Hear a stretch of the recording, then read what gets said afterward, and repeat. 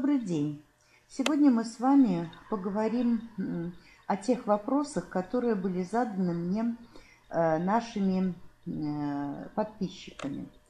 Неопытные любители цветов часто задают вопросы о климатисах, о почве, на которой лучше садить эти растения, о правилах ухода и так далее. Первый вопрос поступил такой. Как можно стимулировать образование новых корней у климатиса?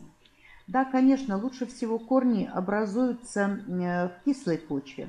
Хорошо, если значение pH для крупноцветковых клематисов не превышает 5,5-6. Второй вопрос. Э, наша зрительница рассказывает о том, что у нас часто мульчируют почву песком и золой, поливают известковым молоком, то есть подщелачивают почву.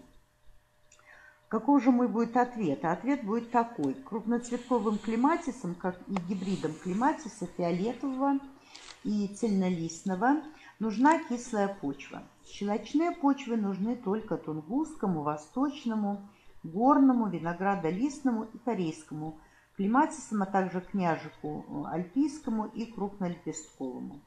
Есть еще одна проблема щелочных почв. Железо в них переходит в неусвояемые растениями формы, что может привести к хлорозу. Третий вопрос наших зрителей. Как правильно ухаживать за саженцами первого года? Ну, прежде всего, нужно подкармливать их комплексными удобрениями с легким таким преобладанием азота и регулярно поливать. Это основные правила. В первый год э, важно получить большую листовую массу. Это поможет нарастить хорошую корневую систему. Вопрос четвертый. Считается, что корневая система должна быть притенена. Так ли это? Да, конечно. Крупноцветковые клематисы – это выходцы из горных районов Азии. Они растут на высоте 2-2,5 километра. И летом там не жарко. В тени или э, на солнце, это не важно, температура должна быть не выше 25-27 градусов по Цельсию. Э, чем крупнее цветки у растения, тем прохладнее должна, должно быть место посадки. А ее можно получить, притянив почву, посадив при этом э, однолетние какие-то растения, тагетисы, петунии и некоторые другие. Пятый вопрос. Что делать в жаркую погоду? Ответ очень прост. Регулярно поливайте, Фиолетовые клематисы и цельнолистные клематисы выносят температуру до плюс 30 градусов по Цельсию. Шестой вопрос. Есть ли клематисы, которые обильно цветут в тени? Да, все крупноцветковые клематисы второй группы обрезки.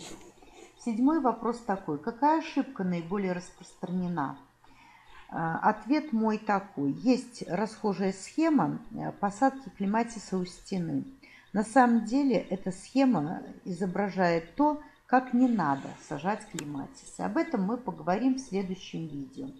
И последний восьмой вопрос. Как правильно сажать клематисы с розами? Саженцы роз и клематисов можно посадить в одну посадочную яму – Взрослым клематисам можно подсаживать клематисы, отступая 30-40 см. То же касается и роз. Если вам было интересно, ставьте лайки и подписывайтесь на мой канал.